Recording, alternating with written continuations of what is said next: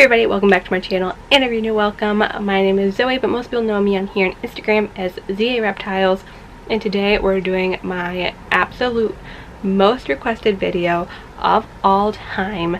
Everyone has been requesting this video for literal years, and I kept putting it off and saying not yet, not yet, not yet. It's finally here. The day has finally come. We're doing a jeweled Lacerta care guide. Now we might be like, what, a minute into this video? I don't want to go any further without saying I am not an expert. I do not claim to be an expert. This is just what I have found in my research, what has worked for me. So that's what we're going to be talking about today. Always do tons of research before getting an animal. Use different sources, use books, YouTube. YouTube is totally fine. People are totally against, or seem to be against care guides on YouTube. I don't know why. I think it's another great source of information. Whether or not you go with that information is up to you and what you find in your research. So never use one source as your only source. Use lots of places to find research so you can form your own ideas on how to care for an animal. Now with that being said, the reason this video has taken so long to come out is because I have a couple personal standards, I guess we'll call them, when it comes to making care guides. I have to own an animal for at least one year before I even think of making a care guide. And then I have to feel very confident in their care. And now a new standard I've added is I want them to be in an enclosure, in a setup that I am very proud of, that I really want to show off. So that's the main reason Crikey hasn't gotten a care guide yet, is because I knew that I was going to be building him a bigger enclosure, and so I was waiting for that to be done so that I could show that in this video. With that being said, there are some past care guides I have done that I will probably eventually redo because the longer I spend in the hobby, the more my ideas of husbandry change and evolve. So now I look at some care guides I did in the past and I'm like, you know, I probably wouldn't even mention that now looking back. Like there's there's things that I don't do anymore, things that I prefer not to do anymore, that I probably wouldn't even mention in a care guide or I'd briefly mention it and say, but I would prefer not to, like heat maps. Okay, so I will not be handling Crikey for this video. So I did wear my Crikey shirt, merch link in bio. So if you want to get yourself a Crikey shirt, this is a crop top. I love it. But I figured since he wouldn't be handling him in the video, I would just wear his face on me.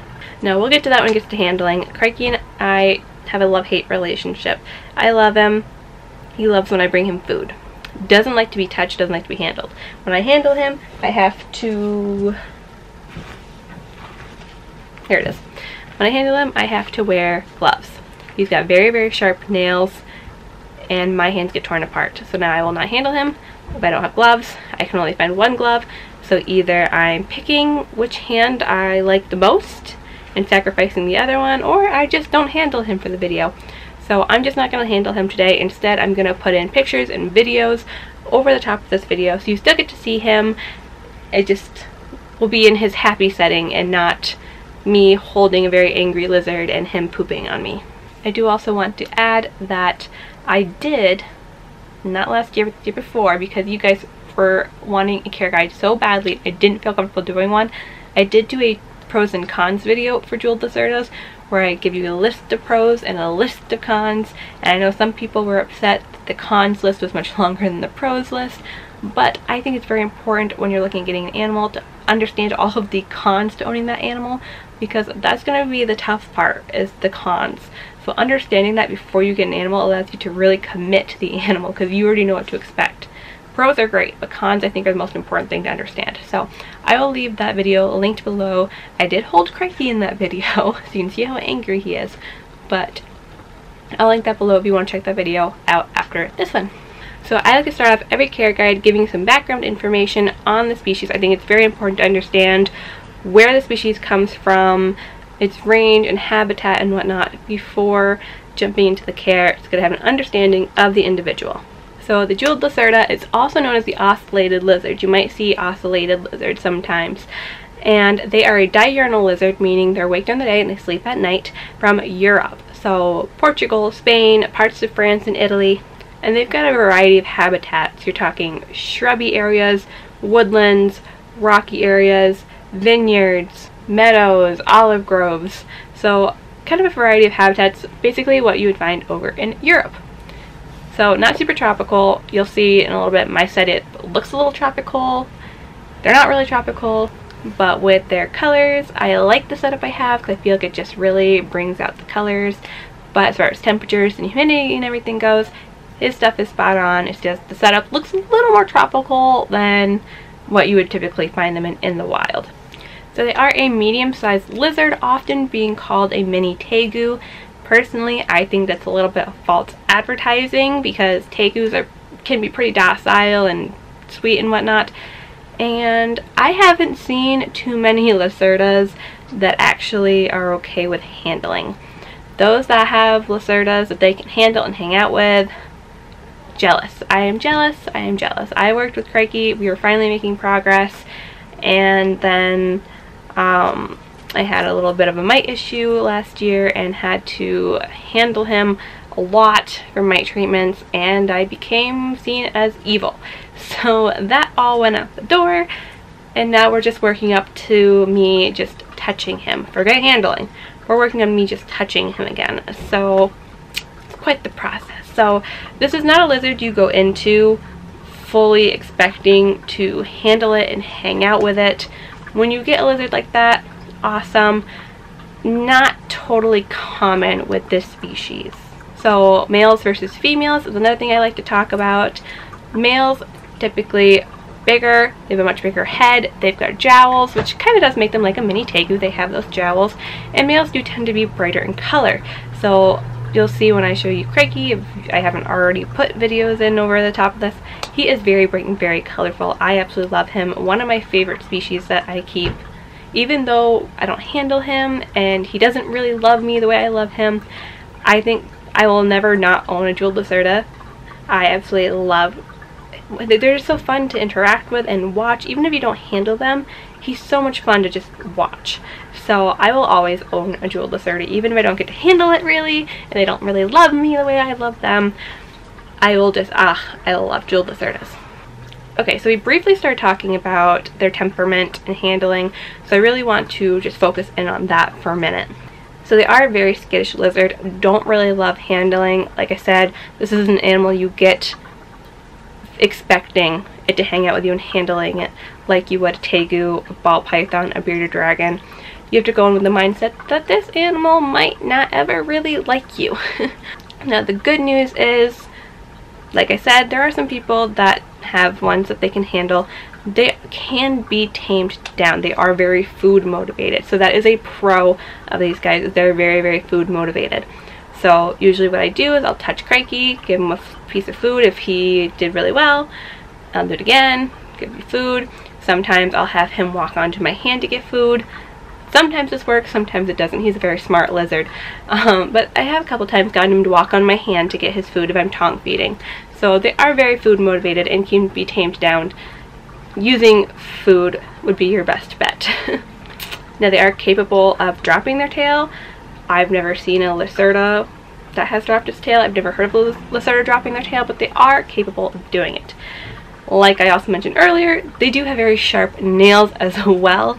So if you have a feisty one that isn't going to want you to handle it, use caution because they will shred your hands and it is very painful because they're very tiny and sharp. They're not like big and sharp like iguana nails, they are like tiny, tiny and sharp. So they rip right through your skin. So I do recommend having gloves on hand because even though I don't handle him readily, there are days that I do have to handle him. So if I'm, like when I was moving, can't move if I don't put him in a travel container. So have these on hand just in case you ever need to handle. You've got gloves so your hands don't get absolutely shredded.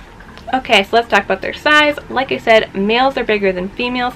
Males can reach up to about 2 feet in length, including their tail. They do have very long tails. So as far as their body goes, you're not talking a 2 foot long body. But with their long tail, they can reach up to 2 feet in length typically. Females will usually be around 16 to 24 inches. So usually around like a foot and a half is what we're talking with the tail. So definitely smaller than males, although males, you're not guaranteed that max size. So just because males can reach 24 inches doesn't mean that it's going to. But just keep in mind, males are going to be much bigger than females typically. lifespan, just like most reptiles I'm finding, you're talking teens to 20s. I don't know that I've ever seen one that's much older, like in its later 20s. Usually I see teens to 20s. So they're going to be a lot around a while. You know, any reptile is going to be a commitment. They've got pretty long lives given proper care. Cohabbing. So before I got Crikey, I almost actually got a trio but I didn't want trio, I only wanted one, so I passed up on it. Um, but the Reptile Expo where I got Crikey, literally like the day before, I saw someone post in the Facebook page for that expo they were trying to rehome their trio of Jewel Lacertas um, for actually the same price that I got Crikey for, so I really should have gotten the trio. But cohabbing. I would say leave cohabbing this species to breeders and experts because mating with these guys can be quite brutal. So I would leave, and you don't want to cohab two males, just like pretty much any species. You don't want to cohab two males because territorial, aggressive, yada yada, you, whole nine yards. So as far as like multiple males or multiple females and males and whatnot, I would just leave that to the breeders who know what they're doing because it can be a pretty aggressive display. So I'd recommend just getting one individual and they'll be totally fine. They don't need a friend. This is Crikey's enclosure right here, right next to my bed, and he's totally content living by himself. And then because I'm me, I like to work in a conservation message whenever I can. So in their native habitat, these guys actually are near threatened. So not threatened, not endangered, but near threatened. So they are on a downslide a little bit. And this is for a couple of reasons. Habitat loss is typically the main thing that we see when it comes to animals moving their way towards becoming threatened or endangered. It's typically habitat I feel or it's typically habitat loss I feel like super common and it's very unfortunate. Um, pesticide pollution, there's more predators eating the things they eat so there's a decline in their natural prey. And thankfully these guys are actually protected in Spain. So capture and trade is actually not allowed in Spain. They are a protected species, which is super awesome. Okay, so now that we've covered the basics of the species, where they come from, males versus female size, lifespan, etc., we're going to get into the care part. So the part that you guys have all been waiting for and wanting, the care. Now, first, so this is divided into sections. We're going to start off with the enclosure because you got a lizard, you need somewhere to put it. So, enclosure. Now this is where I'm glad that I actually took a couple years to make this video and let myself kind of evolve as a keeper because my mindset here has changed. So when you're Googling care guides, now there's not a lot of information out there for jeweled Lacerta care, which is why this was a very requested video. Um, even myself, you know, I struggle. There's a lot more information now. It's been a couple years, but I found whatever I could and then found breeders, found people that owned them and talked to them and just kind of combined all of the information I got to kind of figure out what I was doing. And then I wanted to spend a couple years, especially with this species, kind of honing in what I was doing for his care and getting it to a point where I felt comfortable talking about it with other people. So, and this is why it takes me a while to put out care guides and why I give myself at least a year of keeping an animal before I try to teach others about it. So for Crikey, it's been three years, maybe almost three years of owning him and working on his care to really hone it in and get it to a point where I can talk about it. So when you Google information, what you typically find, sometimes some places, is that a 40 gallon breeder is the minimum. Now if you've been around a while, you know that I had Crikey in a 40 gallon breeder before I built his enclosure. I don't think it was horrible but having put him in this enclosure now, I would not recommend a 40 gallon breeder as the minimum. I think it's fine to use it as they're growing. Now I did upgrade Crikey as he grew just because I had lots of empty tanks on hand so I had the ability to do that. But I would recommend jumping right in off the bat with a 40 gallon breeder if you're getting a baby or even a juvenile. I think that is okay. Um, I got a lot of negative feedback on one of the first videos I did of Crikey because I had him in a 20 gallon tank. Um, because he was a baby, he was very tiny, and in my opinion at the time, that 20 gallon was fine. looking back now, I think I would rather put him in a 40 gallon breeder right off the bat, but it, it didn't not work. So he was on a 40 gallon, and then he became a juvenile, and I moved him to a 30 gallon, and then I moved him to a 40 gallon as an adult until I could get this built. If I could do it all over again, I would have gone right for the 40 gallon and skipped all the others because I think that was an ideal size for him until adulthood. So ultimately, I would not recommend a 40 gallon breeder for an adult. What I would recommend as the absolute minimum is a 4x2x2, which is what Crikey has over here. So this is 4 foot long, 2 foot deep, and 2 foot tall. Seeing him in it, if I could redo it, I would probably do a 5 by 2 by 2 or a 5 by 3 by 2. So 5 foot long, 3 foot deep, 2 foot tall. Now, this isn't bad. He fits in here very well, but he does utilize the whole space. So I think it would be nice if he had a little more floor space. So a lot of places you'll see now they do say 4 by 2 by 2 is a good size for them. I would say for a female, that's probably really good. For a male, I might add an extra foot on there um, in both directions. So again, this is totally fine. I think this is okay as a minimum. But seeing how he uses the space, I wish that I had gone a little bigger. But it's not bad. So getting this species, that's what you should aim for. Know that you're either going to have to buy and pay money to have someone build you an enclosure or you're going to have to build your own so that you can achieve the size that they're going to need. So again, 4 by 2 by 2 minimum, but bigger is always better. So I'm not going to give you a maximum because in my opinion there never is a maximum enclosure size, only a minimum. Because you can never go too big. So 4 by 2 by 2 minimum. But bigger is always better. Also very important, front opening. So very hard to do if you have a 40 gallon breeder unless you're going for like a 40 gallon Exo Terra which opens in the front which I would recommend. Because these guys, you want to try to earn their trust and they're very skittish and very food motivated, you want to be able to come at them from the front as opposed to the top which is where a predator like a bird would come in. So you're just much less threatening and it's easier to access them if you're coming in from the front as opposed to having to come in from the top. So 100% front opening would recommend. Okay, moving on to substrate because now you've got the lizard, the enclosure, what's going in it. Substrate. Also, I say that don't get an animal until you're ready for it would be my biggest recommendation. Have the stuff you need so when you get the animal, you're good to go. Okay, so moving on, substrate. They love to dig and burrow, so you're going to need a deep substrate that allows for that. Now, when they're babies, I think paper towel is totally fine. They are very aggressive eaters. They're very fun to watch when you're feeding them.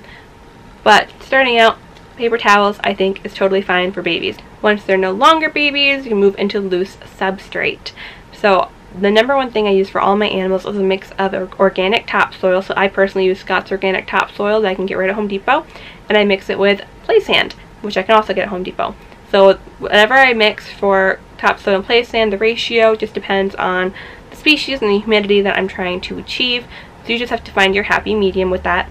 And then to go with the topsoil and play sand, I like to mix in something a little more chunky. So usually Reptibark, Reptichip, or Forest Floor. I'll mix in just to give it even more texture and whatnot. And this is an attempt at a bioactive setup, so I do have live plants and cleanup crew. So the more surface area and textures you have, the better if you don't have a drainage layer, which I do not because they love to dig. Now I'm not saying you have to go bioactive.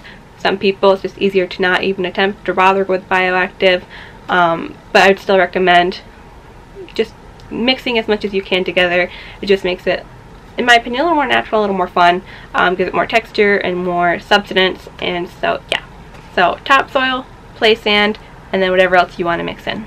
Now I also mix in moss to try to help with humidity. We'll talk about humidity in a little bit, um, but aim for more of like a humid hide area so moss that's all in one area to hold humidity. So just like you would do with most reptiles provide a humid area so that if they're shedding or whatnot they can control the gradient of humidity that they are receiving.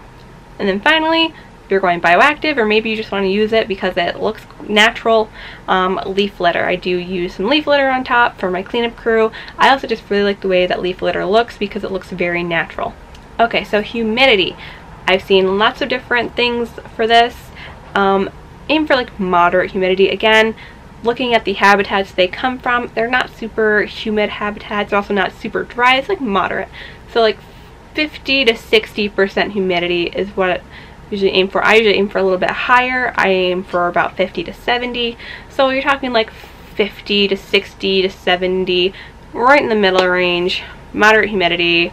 Just gauge your animal, see what they do best with their shedding, raise the humidity a little bit. You just don't want to go super nuts. Again, they're not a rainforest animal, but they're also not like a super desert animal.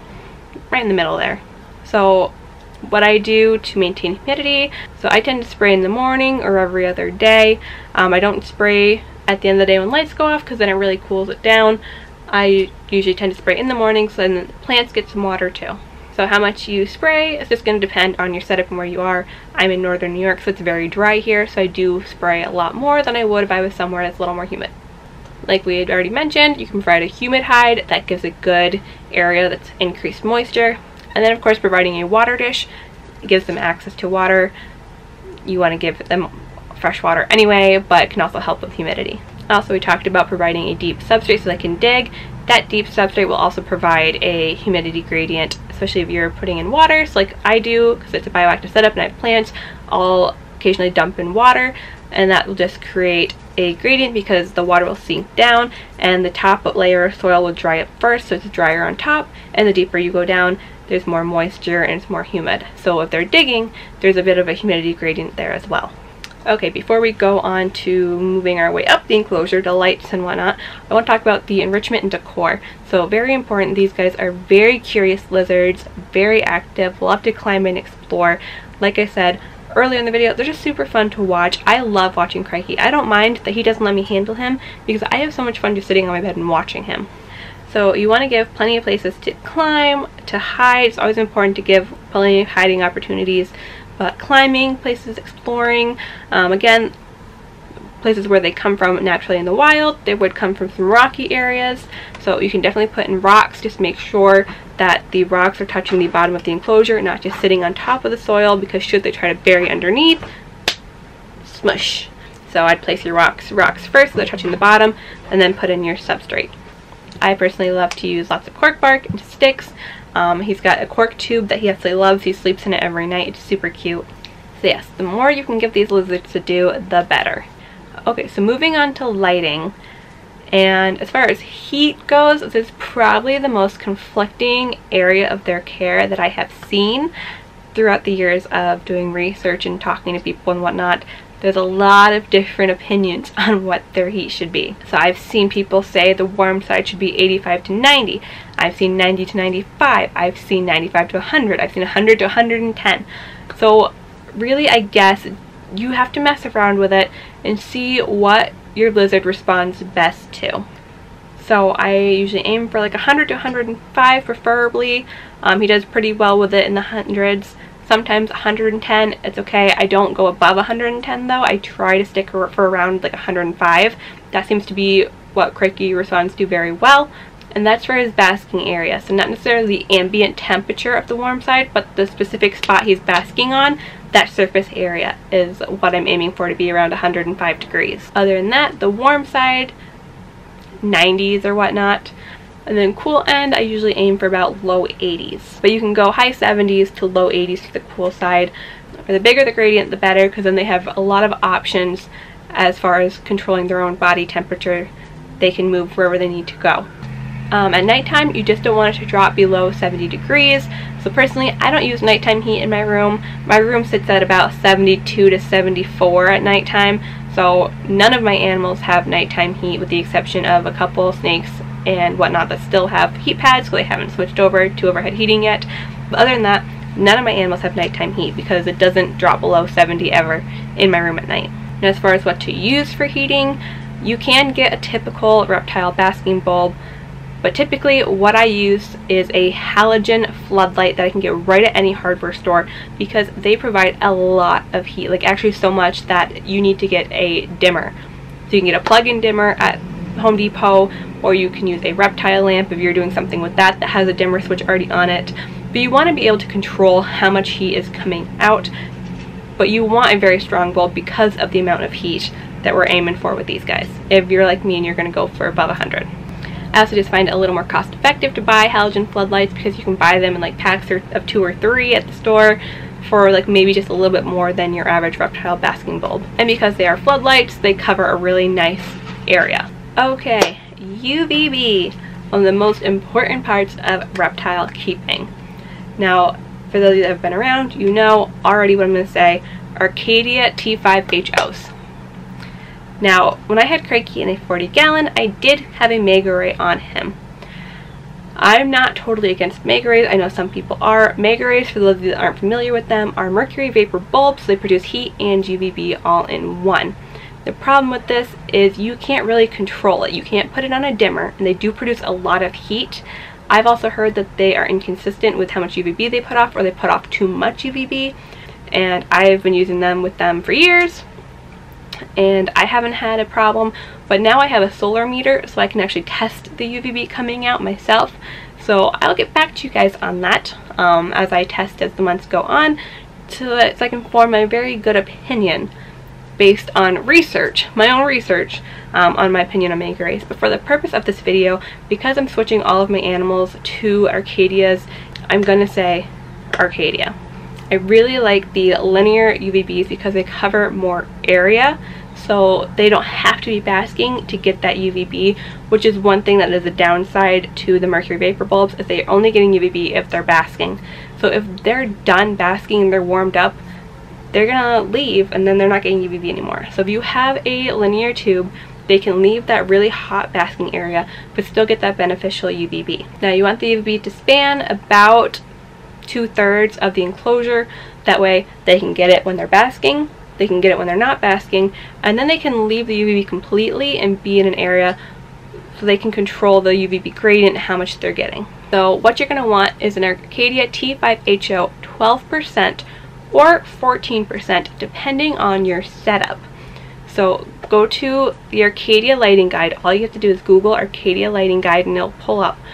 Put in, I forget, I don't think it says Jewel Lacerta, but it might. You might have to put an ocellated lizard, but I think they, it pulls up Jewel Lacerta. And look at their guide and it'll tell you based on the distance from your animal to the light what you're going to need because that will determine whether you need 12% or 14%. Okay, so the final part that we're going to talk about is diet and supplementation. So they are omnivores, however, they're going to eat primarily insects. Now, as far as when to feed them, this is going to depend on your lizard. You'll find a lot of things say every single day, and for a baby to a juvenile working up to an adult, I did feed every single day. I would recommend every single day. But now that Crikey is an adult, I feel like every single day he was starting to get a little chunky and he also wasn't finishing his food. So now I feed him every other day. So he gets fed four times a week and this has worked out really, really well for us. So I do think that's kind of a thing that I'm starting to see now in the reptile hobby is there's animals they say you have to feed every single day, but I don't think you really need to feed every single day. Um, there's a lot of animals I have that I don't feed every single day and that I feed like every other day or five days a week or six days a week and it seems to be working really, really well. So for Jewel Lacertas, I would say every single day until they're an adult. Then I think you can do every other day. But again, this is just going to depend on your lizard.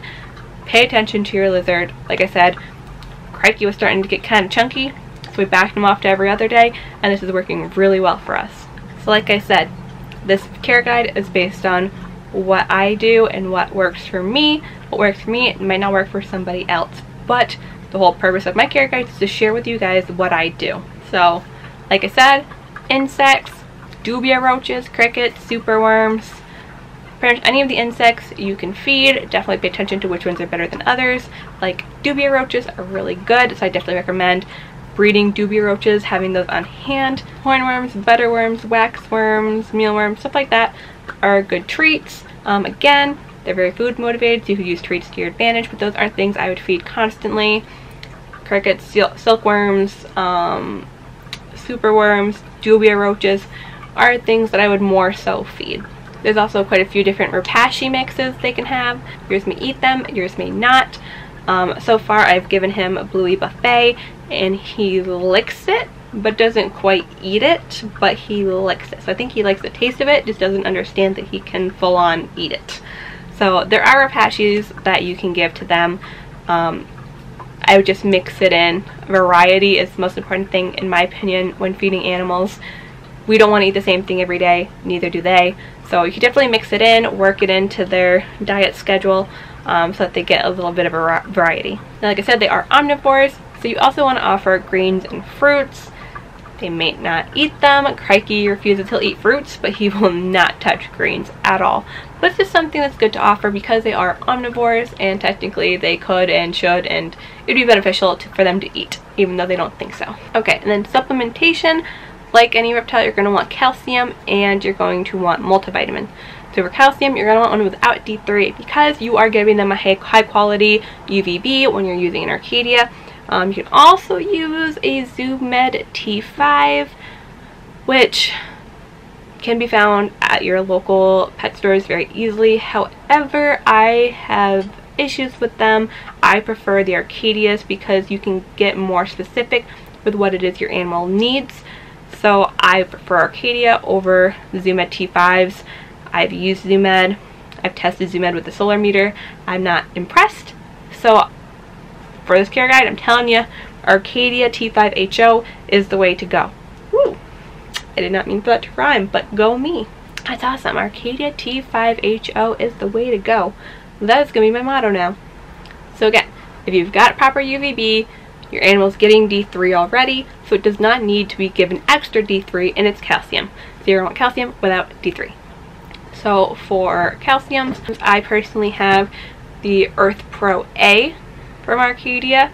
Um, that's the thing I was able to get my hands on. If you're in the States, it can be a little harder to get your hands on Arcadia products because they are out of Canada. But I was able to get myself my hands on some Earth Pro A, um, which when you look at their schedules, they do recommend using almost every day. So, great. Before I switched to Arcadia supplements, I was using Zoo Med Repticalcium without D3. Totally fine, you can get that at any pet store. Last topic, and my camera had to die. Okay, so we're talking about calciums. I don't recommend Repcal products. Zoo Med Repticalcium without D3. There's different Arcadia calciums. Repashy calciums are good. So there's like Supercal no D or Supercal low D. So I do use calcium every feeding with the exception of the day that I do multivitamins. So I do multivitamins every other week, so it turns out to be twice a month. Um, sometimes I usually do like once a month, but now that I've got everything on a schedule, I do rotate calcium and multivitamin on one of the feeding days every other week. So it ends up being twice a week that he does, or twice a month that he does get a multivitamin. So don't recommend Herptivite. Stay away from that one. Um, I was using for the longest time Reptivite. Now I use Supervite from Again, calciums, Zoo Med Repticalcium without D3 is what I've used for years until now that I'm trying to switch to Arcadia products. Totally fine. Multivitamins, Reptivite, um, Repashy Supervite. That's what I've got right here. I have the container. Yeah, I do a calcium at every feeding and then a multivitamin every two weeks. So one day, one of those days, instead of a calcium, I do a multivitamin the next week I'll do calcium that day. The next week I'll do multivitamin that day. So just switches it up and works way in there. So one to two times a month for your multivitamin, every feeding for your calcium. That is what I do. Okay, so that is it for this Jeweled Lacerta Care Guide. I hope I didn't miss anything, but yes, after years of waiting, it's finally here. Again, make sure to do all your research. Don't just use this video as a one and done. You can use it to compare information with other sources. But yeah, if you have any further questions or things to add, feel free to hit up the comment section below. And as always, thank you guys for joining me and watching today. And we'll see you for the next video. Bye!